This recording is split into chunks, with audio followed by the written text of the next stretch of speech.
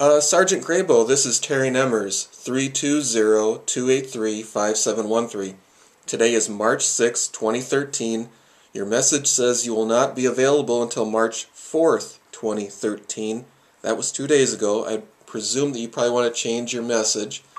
Uh, I'm calling about a data request that I submitted to you on February 27th.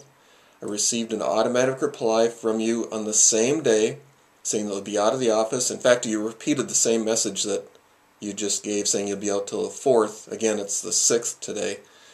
Just want to know um, one, why you didn't respond to my email and tell me that it's in the works, and two, um, are you going to change your message on your phone?